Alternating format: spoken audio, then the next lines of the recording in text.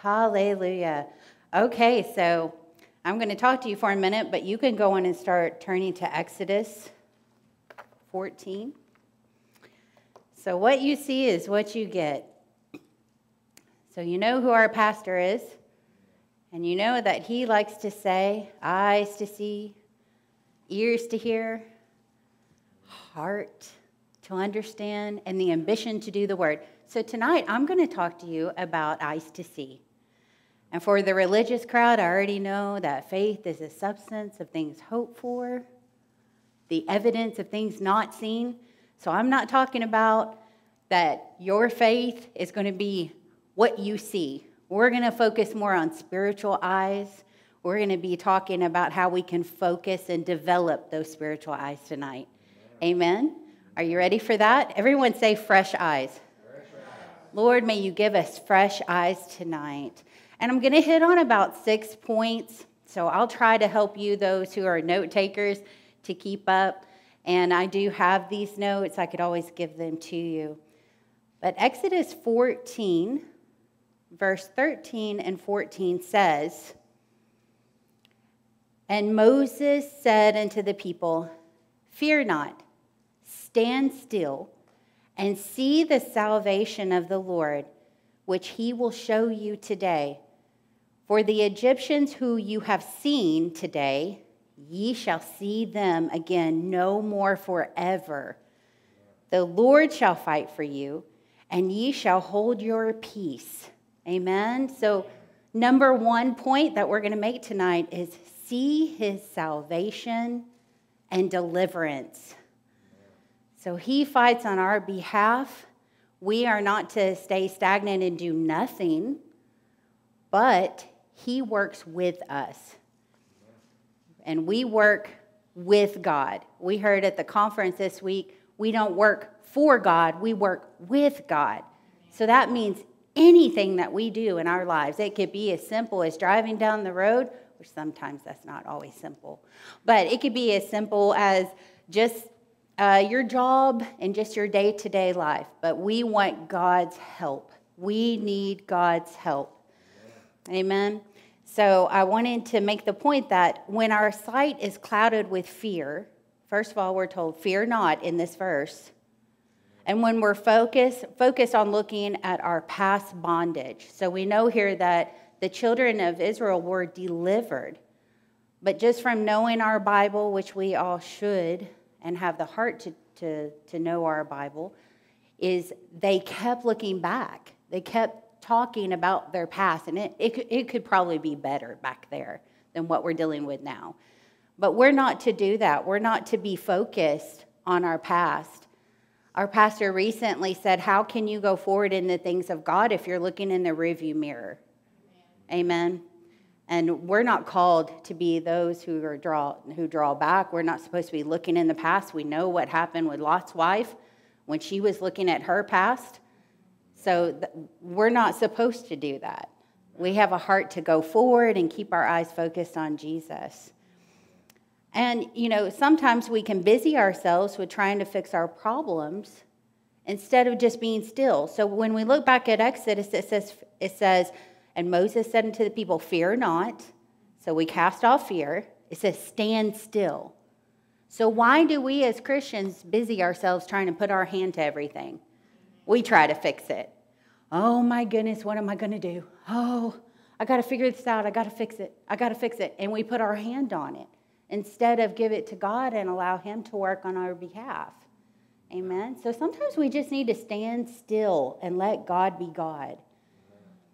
The other thing here is that we can't see God's salvation and His mighty wonders in our lives if we're living in fear, if we're not being still and trying to fix everything on our own, or if we keep looking to the past for the answers. We don't need to go back to the past. There's a reason why it's called the past. We're of those who look for the future, toward the future. Amen.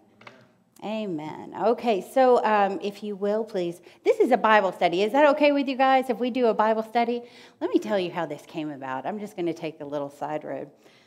So yesterday morning, it was probably around 3:30 in the morning. I was awoken by the Spirit of the Lord. I know it was the Lord because of course you're going to wake me up at 3:30 in the morning.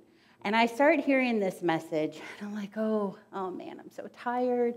But anyways, we'll just fast forward. And 5 hours of study later, this is what came out. And so to be obedient, I tell my husband after I type it, because I'm done, I typed it, I feel like, okay, I obeyed. I heard from the Lord. I didn't sit on it. I didn't say, uh, you know, just disregard it. But I was like, you know, if I'm being awakened in the middle of the night and this is impressing on my heart and I don't have peace until I study it out, that's God, right? Because we know when there's peace residing, that's of God.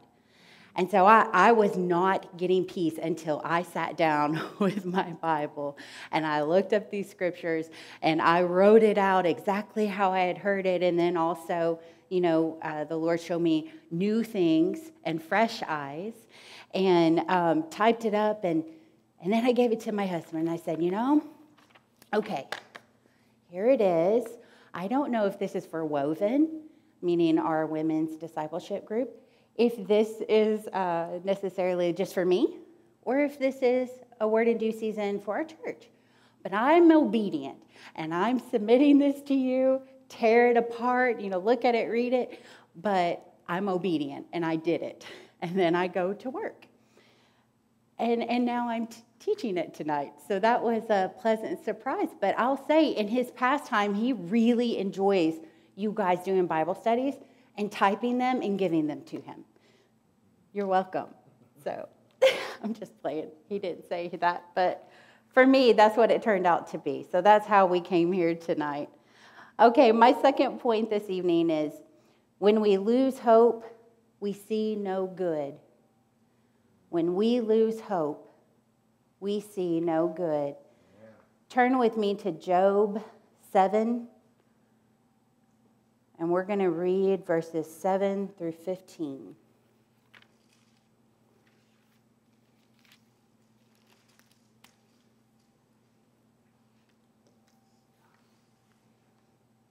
Job 7, verses 7 through 15, and this is Job lamenting. He says, Oh, remember that my life is wind.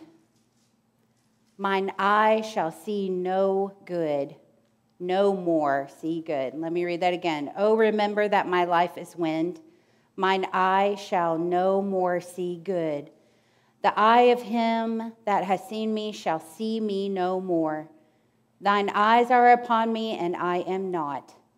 As the cloud is consumed and vanished away, so he that goeth down to the grave shall come up no more. He shall return no more to his house neither shall his place know him any more. Therefore, I will not refrain my mouth. I will speak in the anguish of my spirit. I will complain in the bitterness of my soul. I am a sea or a well that thou settest a watch over me. When I say, My bed shall comfort me, my couch shall ease my complaint, then thou scarest me with dreams and terrifies me through visions, so that my soul chooseth strangling, and death rather than my life. I'm thinking that this sounds like Job is pretty hopeless. Okay, we've all been there where everything looks dreary and dark and hopeless. And oh my goodness, how am I going to get out of this? All I can see is no good. I think we can all relate. We've had those stinking thinking moments. We've had those moments where we just don't see how it's going to work out. That's where Job is currently.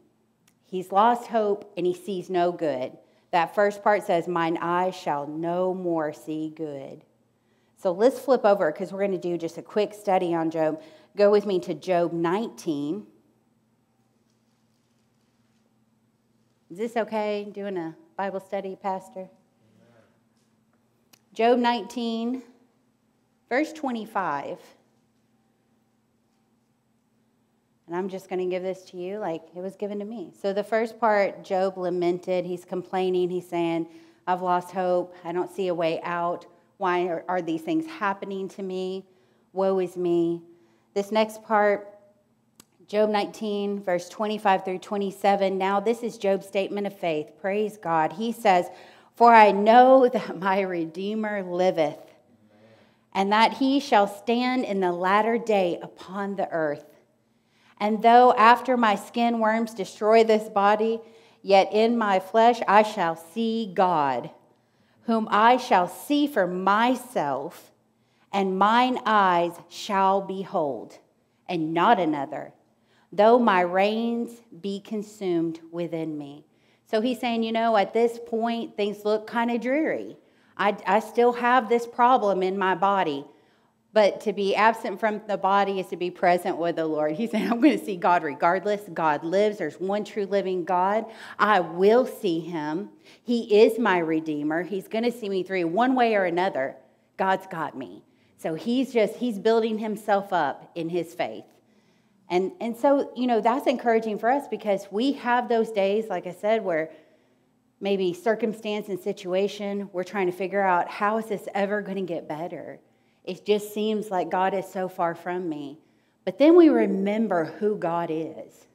Amen. And this is the, the route in which we're traveling this evening through Job's story. But now we've come to a place where it's Job's statement of faith. My Redeemer lives one way or another, I shall see God. I shall see God. Okay, a few uh, chapters over, we're going to go to Job 42. Go a little bit further on his journey. Job 42.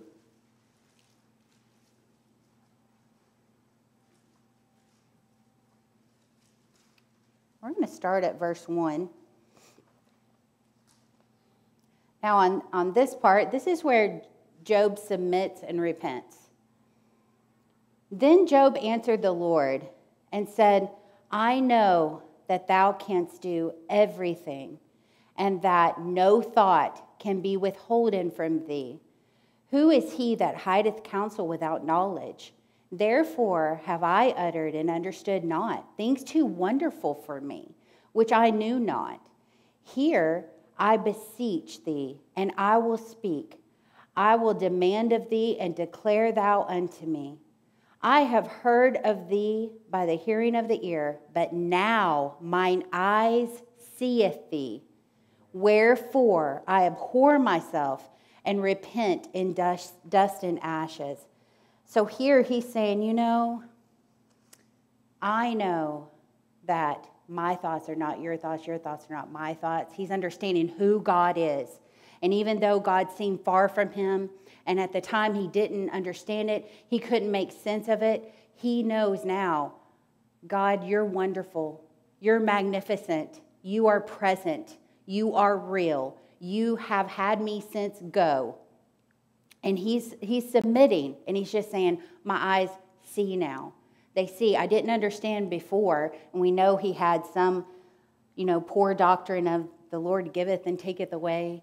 Um, we know that that's not true. That's that's the enemy who came to steal and kill and destroy. And I look back on the, and you don't have to go back here, but where it said in Job seven, I think it was around verse fourteen. He he was talking about when he closes his eyes, he's even tormented in his sleep. We know that God wasn't in on that. That wasn't of God.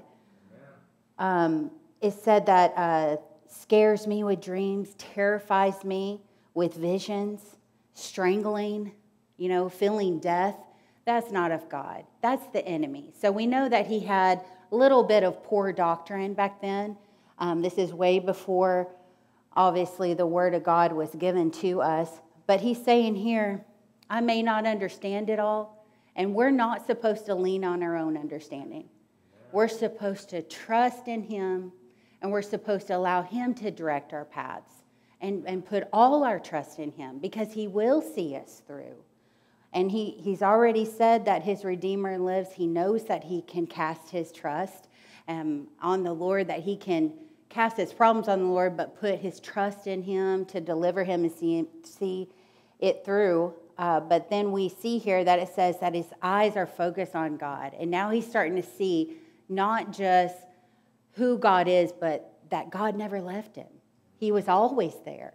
He was always there no matter what he was going through.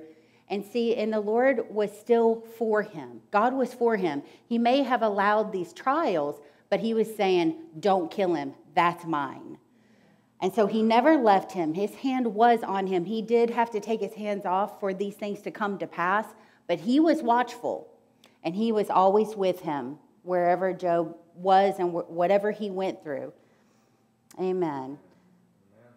Okay, so this next part, we're going to, it's still in Job 42. So let's look at verse 12, just a couple verses over. Now, this part is Job is blessed. Amen. So the Lord blessed the latter end of Job more than the beginning. And we'll stop right there because so far we've heard that Job was complaining. He was under attack. He didn't know how he's going to get through it. Then he starts proclaiming his faith that I've, I've always served you, God. And we know that Job served him because God said, Have you considered my servant Job? I mean, he was favored of God, so we know that he was faithful to God. So here he remembers this is what I do. I live for God, I serve God. So he starts proclaiming his faith. And then he submits and repents. And the next part, because of that, that uh, journey, then Job is blessed. We serve a God of restoration. So sometimes when it feels like the enemy is taking and taking and you're losing ground or you're losing hope, we know that God can restore all things. Amen. And we have the Holy Spirit who gives us hope. He's our comforter. That's one of his names. So Job was blessed in the end because he submitted, because he proclaimed faith, and because he repented. And God restored everything that the enemy meant for harm and everything that the enemy took from him. And he got more. Amen. Praise God for being faithful. Amen. And how many people in here has seen where you've lost something, but you got it back so much the more Amen. because you held on and you trusted God? I mean, I can share a testimony as far as Pastor and I, and, and I know he has shared it from the pulpit before but we had lost our home, most of our things, in a fire, a house fire. And praise God, we weren't home. We were staying with a family member and ministering to them because they had just experienced a terrible, tragic loss. We all had. But we weren't home. But had we been home, where the fire had started was downstairs, but those flames went to the upstairs and was underneath our son's bed, had burned through the ceiling. Our son would have been in that fire. And we lost most of our things. But what I want to tell you is for a moment, we were a little downcast that day because it was hard to walk through our home. They allowed us to go in and to see the damage and the loss. Um, and when you look at your baby's things and all your memories, like we lost most of our um, mar- marriage pictures, a lot of baby items, just things that meant something to us. That was more important than the stuff.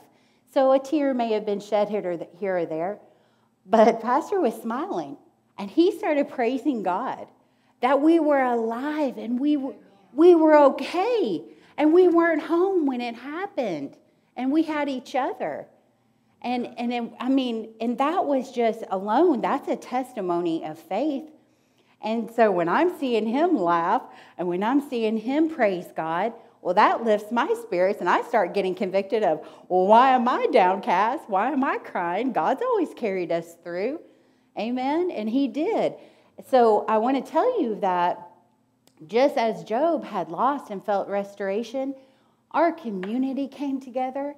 There were people that were coming. I remember one lady gave me all new bedding, a beautiful a bed and bag set for our son. Uh, we had furniture. We had clothes. The ladies of the church came and took what was left because we had a closet that wasn't touched by the fire. But of course, when you have soot and smell and uh, fire trucks hosing everything down, it's a mess, to say the least. But they did all that laundry and just tried their best to help us. And we saw just people come through and, and help us. We had so much the more that we could we didn't have room for it. And that's our God. He shows up and he shows out for his people. Even when it seems like we've experienced loss, he sends us new people, new friends. Say, for instance, you lose a friend, well, now you gain a godly friend. Amen. Maybe a family member turns their back on you, and God sends you someone special who's going to love you like Christ and who's going to lift you up when others would put you down.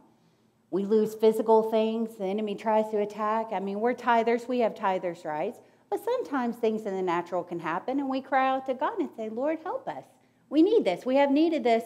Help us. I turn to you for my sustenance. I honor you with my finances. I'm a good steward with what you've given me. Can you trust me with a little more because I just lost this? And he always does. We are not a people of lack. If you think about it, we are so blessed. We have so much. You guys all look great. You've got clothes on. You, you look healthy. You know, we get to eat. We get to come in this beautiful building. God provides. He is Jehovah Jireh. He provides for us. And I want to encourage you if you feel like the enemy's been taking too much from you, maybe attacking your mind, taking some of your peace, attacking your body, taking some of your health, your finances, whatever it looks like, God can restore. God can give you even more than what you had when we put our trust in Him. He will see us through. Just got to shake off, you know, us getting in our stinking thinking and our whining and complaining. Because sometimes, you know, the battle seems like we're surrounded. And that being said, let's, let's turn to another example here. Let's turn to 2 Kings 6.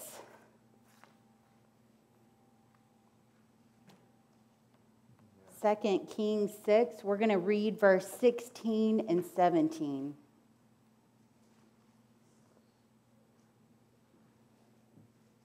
One more time. Let's say fresh eyes. Fresh eyes. Second Kings 6, verse 16 says, And he answered, Fear not, they that be with us are more than they that be with them.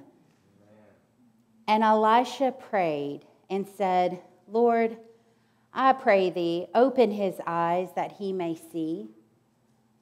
And the Lord opened the eyes of the young man, and he saw. And behold, the mountain was full of horses and chariots of fire round about Elisha. So Elisha prayed for opened eyes of his servant. Sometimes it just feels like we're surrounded. And we can't see because we lose hope. Sometimes, you know, things get clouded. But here we know, I mean, there is a host of angels. They are not there. I mean, I, oh, I don't know if you saw last night when Pastor Chris was talking about the angels going holy, holy, holy. And they do that. But it was, it was hilarious. And I, I love Pastor Chris's um, humor. It just, it tickled me. But these angels have a lot of jobs and, and they are all important and they are to worship God with reverence and honor. But there are angels that are for us as well Amen. to protect us, to equip us and help us. We're to put on the full armor of God ourselves. I mean, we have to activate our faith, we have to stand, we have to battle. But there are angels that we don't even know, right? We might be entertaining angels among us. They're in this church and they have assignments. And it was just beautiful that when this young man saw the enemy surrounding them, encamped about them, and it seemed hopeless, that Elisha knew to pray, to renew his faith and hope, and to open his spiritual eyes, and to say, Look, son, there are more on our side. God is for us. If God be for us, who can be against us? Amen. And we're world overcomers. We have the authority and power of Jesus we have the Holy Spirit that equips us and helps us when we're battling, even the small battles. But I'm telling you, when you're going through some hard stuff, God is for us, and those angels are around you. All we have to do is activate our faith and call out to Him. He is faithful. He is faithful to hear us. Amen. And, and we have scripture that talks about our prayers going up to heaven and the enemy even trying to divert those. Keep praying. Don't stop praying. Don't stop battling. And you will get victory. And ask God, say, let me see this with fresh eyes. Let me see this situation in a new way. Help me regain focus because I'm all over the place. I mean, I even think about when uh, Peter uh, took his eyes off Jesus with the storm around him. It just took him looking at his circumstance for him to start to sink. But what happened? What caused things to change? He cried out to God.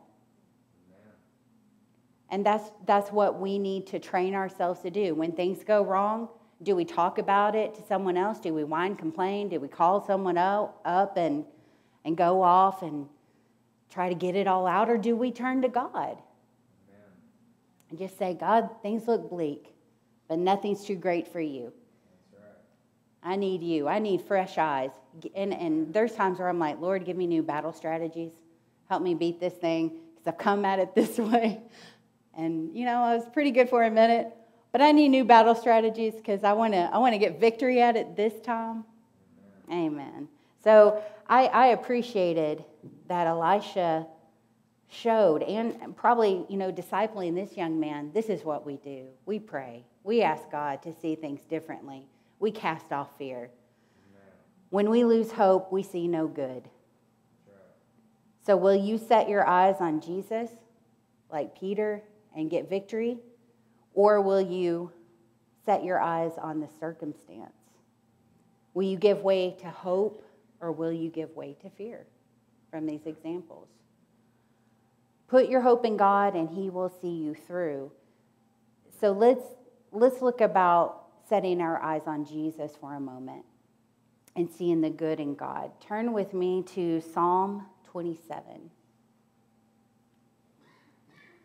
Psalm 27.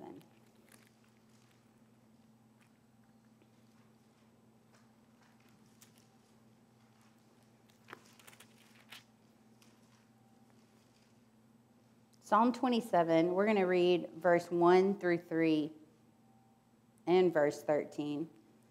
It says, The Lord is my light and my salvation. Whom shall I fear? The Lord is the strength of my life. Of whom shall I be afraid? Amen. Hallelujah. When the wicked, even my enemies and my foes, came upon me to eat up my flesh, they stumbled and fell. Though a host should encamp against me, just like what Elisha was seeing, my heart shall not fear. Though war should rise against me, in this will I be confident. I had fainted unless I had believed to see the goodness of the Lord in the land of the living. Amen. Amen. So that young servant got to see that, hey, the enemy's encamped around me, but my God is much more mighty. And he shows up, and we're going to get victory. We're going to get victory. And I love the rest of that story because they actually got to minister to their enemies and win them over.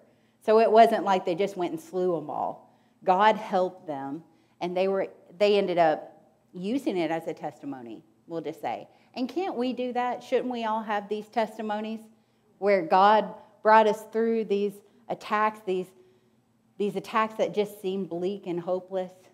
And we can turn that around and minister to someone else, Amen. someone else who, who's go, going through some hard times. Isn't that what our Christian walk is all about? Is testifying of the Lord, winning the lost, showing them that how we maintain the light of Christ within us. Amen. Amen. Amen. There's another example. You don't, you don't have to turn here. You can just write this one down. But Psalm 66 5 in the NLT version says, Come and see what our God has done, what awesome miracles he performs for his people. Amen. You know, and um, Zechariah today during his Bible study, he, he was saying, uh, taste and see that the Lord is good. I was like, there's another one. Taste and see that the Lord is good. See him for yourself. Try him for yourself. Taste his goodness. Amen. I was like, there's another one. I didn't even write that one down. You go, boy. All right. So, our first point this evening was see his salvation and deliverance. Our second point was when we lose hope, we see no good. And now we know how to see good in God. My third point tonight is sometimes you may see, but not possess.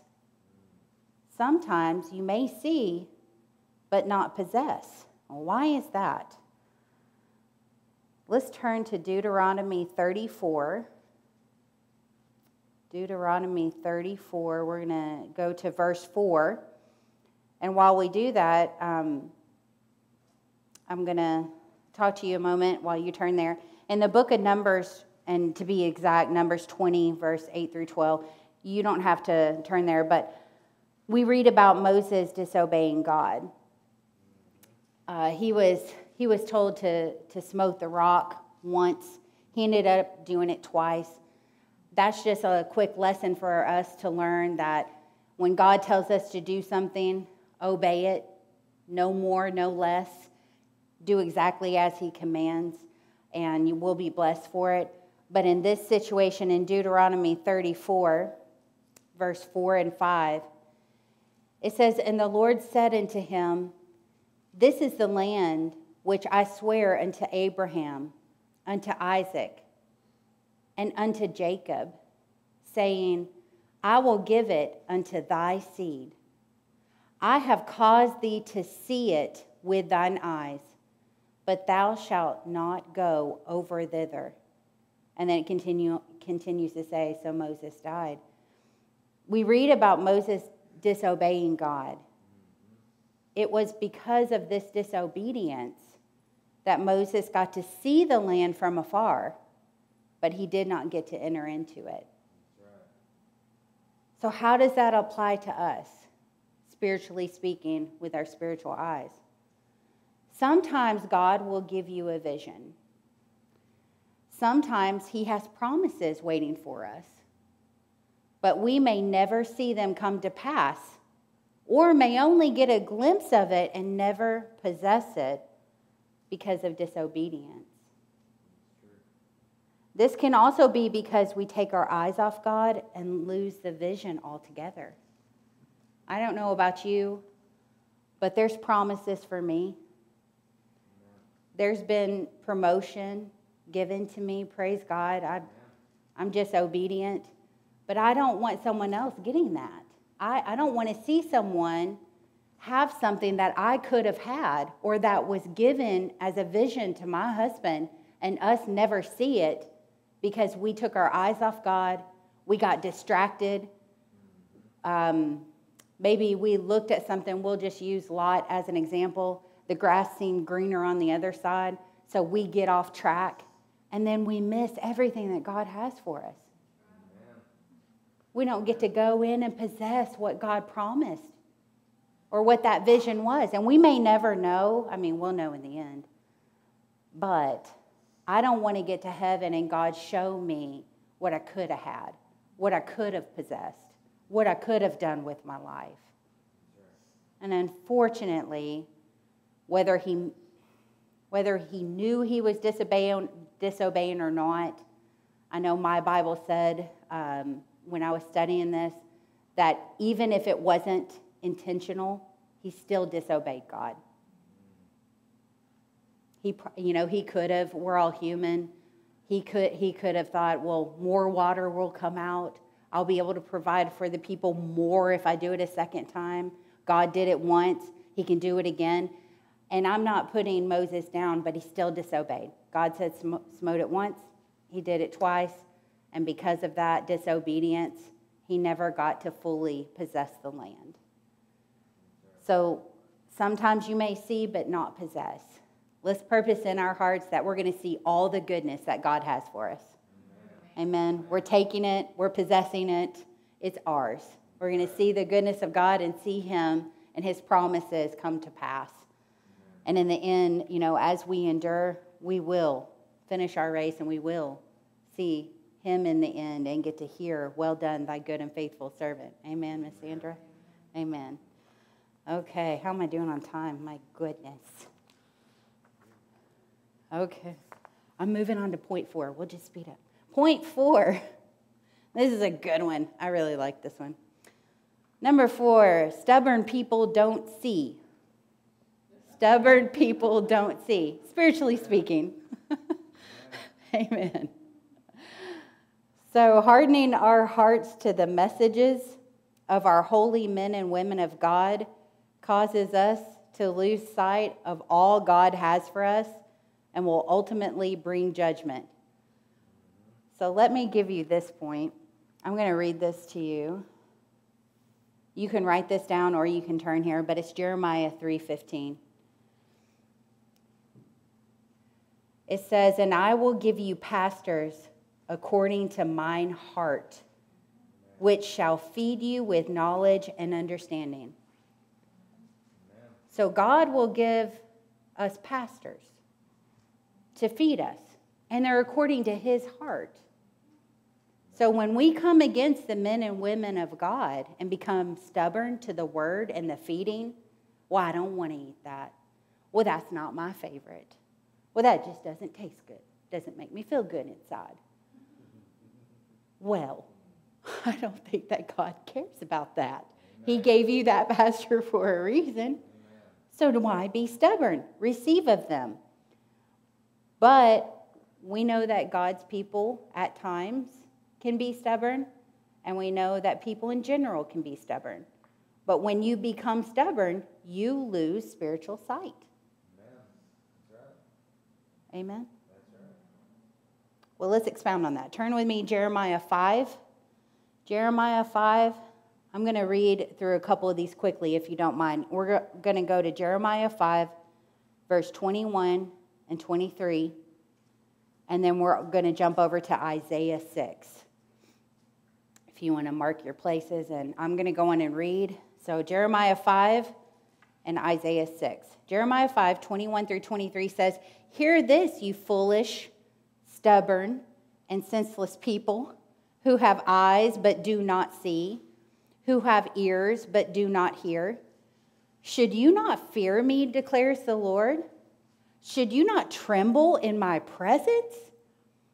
I made the sand a boundary for the sea, an everlasting barrier it cannot cross. The waves may roll, but they cannot prevail. They may roar, but they cannot cross it. But these people have stubborn and rebellious hearts. They have turned aside and gone away. So the Lord here is saying, You have eyes, but do not see and he calls them foolish, stubborn, and senseless people when you do that. I don't want to be that. There's a reason why our pastor is given messages on our behalf. It's a word in due season. It's to rebuke, it's to exhort, it's to sometimes chastise, it's to sharpen us, it's to make us better. So we, we shouldn't be offended by it. We should welcome it and say, okay, Lord, give me eyes to see. Give me eyes to see what this, what this means. And, and help me hear it, help me understand it, and then help me accomplish it and apply it.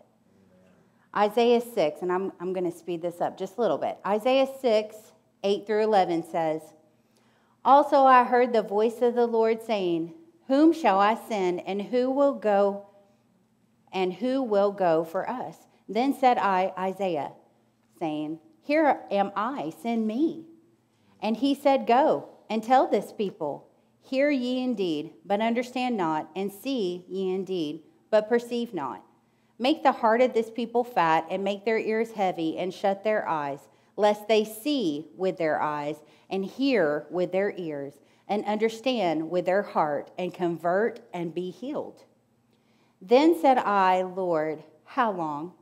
And he answered, Until the cities be wasted without inhabitant, and the houses without man, and the land be utterly desolate. So God here warns Isaiah that his ministry is falling on deaf ears and with shut eyes. And because of that, this results in captivity and death. And in fact, if we, if we read on about the Babylonian captivity, only a tenth of the people ever found their way back. So we can deduct from that that one who strays from the truth of God, that he or she may never find their way back. You can get left field easy. You can listen to a false doctrine. You can be led away by your flesh. You could say, That's too hard. I don't want to go there. Or, Oh, well, that's a cult. They're, they're trying to control me. Or, I don't like that message. Or, I, I, don't, I don't want to dress up on Sundays for church. I don't want to honor God or the house of God. I mean, there's a lot that can lead us astray. We can get lazy. I mean, there, there's a million things that the enemy will try to use to distract us and deter us from all that he's put in us, from everything that he's invested in us, and from the, the promises and the things we can possess if we just hold on and if we keep our eyes open. But again, when one strays from the truth of God, he or she may never find their way back. So these two verses show that are what stubborn sight can do when one feels wise in their own eyes. Mm-hmm. And that's found in Proverbs 12:15. We can't be wise in our own eyes. Amen. We can't. We can, but it's not going to get us anywhere. Right. Wisdom is the beginning of fearing the Lord. So we have to fear God and ask Him to allow us to see everything that He's trying to tell us and show us and where He's trying to lead us. Amen. Amen. Okay, Isaiah 32. We're going to go, we're going to hit one more point and then I'm going to move on. Isaiah 32. And we're going to be reading verse 3 and 4, and also verse 16 through 18. So we're going to jump a little bit. So that's Isaiah 32, 3 through 4, and verses 16 through 18. This is the promise for the righteous. And when we say righteous, we're talking about those who are in right standing with God and hearken to his voice. So this is the promise. And the eyes of them that see shall not be dim, and the ears of them that hear shall hearken. They'll listen. The heart also of the rash shall understand knowledge, and the tongue of the stammerer shall be ready to speak plainly. And skipping on, it says, Then judgment shall dwell in the wilderness, and the righteousness remain in the fruitful field. And the work of the righteous shall be peace, and the effect of the righteousness, quietness, and assurance forever. Amen. Don't you want to be counted as righteous and live in peace? Amen. To have the effect of quietness and assurance, that blessed assurance. That's right.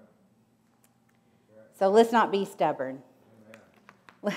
because when you're stubborn, you don't see. You just see what you want to see. You're right, they're wrong. You become puffed up. You give way to pride. You, you just you shut down. You become blind in a sense your vision becomes cloudy. I'm, I'm, sure we've all been there where it says, you know, someone says, uh, I'm so mad I can't see straight. well, there it is. Because you get puffed up in pride, you, you get lost in emotion, and it overtakes you, and then you can't see clearly. We could say you can't think clearly. That's why we have to put our mind on Christ, focus on Him to see us through. But, but that's what happens when we're stubborn, you're not going to see things clearly. You're not going to see how the other person may be trying to help you, may just be giving you a word of wisdom, some advice, some godly counsel, just trying to be a friend, trying to cause you from hurting your life. You just, it's that pride and offense and stubbornness. Amen. Okay, let's jump to point five. And this is going to be in Matthew, if you want to go on and turn to Matthew 13. So this is Jesus speaking, um, and this is regarding the parables that's being discussed with the disciples, just setting the scene for you. But point five says Jesus wants us to see and hear his truth. Amen. Jesus wants us to see and hear his truth. Matthew 13, verses 16 through 17 said, it says, Blessed are your eyes, blessed are your eyes, for they see, and your ears, for they hear. Ver- For verily I say unto you, that many prophets and righteous men have desired to see those things which ye see, and have not seen them and to hear those things which ye hear and have not heard them. This goes beyond just the physical seeing and hearing. This implies that an inner spiritual perception of truth is taking place. God wants to reveal to us the truth of His Word and the mysteries of the kingdom of heaven. He wants that. He desires to know you more intimately and for you to know him. That's like a parent who buys a child a gift. They can't wait until they open it. They can't wait to see what's inside. They want to see their reaction. They want them to have the goodness. I mean, me as a parent, I can't wait for Christmas to watch my kids open things because you just want to bless them. And that's our God. He wants to reveal His word to us, He wants to reveal the truth. He wants to to show us the mysteries of his kingdom. And he wants us to be excited about it. He wants us to know him more. But this even warns us that even the righteous men, that their eyes can be dimmed, and that sometimes if they're not careful to keep them open and focused on God, that their eyes may be dimmed. They may not see. We know of many ministers who get who stop praying for, for their relationship with God. They stop taking things to the Lord and they get focused on the ministry and their sight gets off. Now, praise God, a lot of them will come back into focus. Maybe something happens, gets their attention, but then others lose the vision altogether. Focus on maybe a little bit more of the world, maybe on money and fame. We've seen this happen in the body they lose focus and then they stop seeing what the Holy Spirit is, is showing them and what God is showing them and telling them. They, they stop up their ears and they're, they're wise in their own eyes and they begin, begin to be puffed up in knowledge and, um, and lose sight on the vision and what God told them to do when they began. So let that not be us. Amen. Amen. Spiritually seeing and hearing will bless our lives and can bless those around us when we share God's truth. What we've seen and heard. That's, that's a testimony. We share what we've seen and heard as a body of believers. This will cause us to have a closer walk with God as well. So when we when our eyes are open, now God will show people things as they, you know, walk with God for themselves.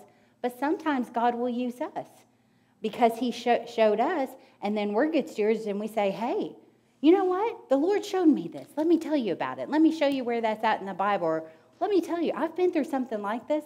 Let me show you what God showed me about it and how I got victory. So, what we're responsible for what we see, spiritually speaking. Amen. Okay, and my last point, I'm running a little late here. But this is the last one. Number six, the pure in heart sees God. The pure in heart sees God. You don't have to turn here because uh, this is really quick, but Matthew 5, verse 8 says, Blessed is the pure in heart, for they shall see God. Amen. So there's the point right there, Pastor. The pure in heart sees God. Matthew 8 or Matthew 5 8 says, Blessed is the pure in heart, for they shall see God. Amen. Amen. The pure, selfless. So when we care for others, that makes us more godly. When we prefer our brother and sister in Christ, that makes us more pure. Where we're not selfish and, and it's all about me. It's a great point. Thank you for that. Let's look at Matthew 6. So just a little bit over Matthew 6, verse 22 through 24. Matthew 6, 22 through 24. So again, we're talking about the pure in heart sees God. And Matthew 6 says, The light of the body is the eye.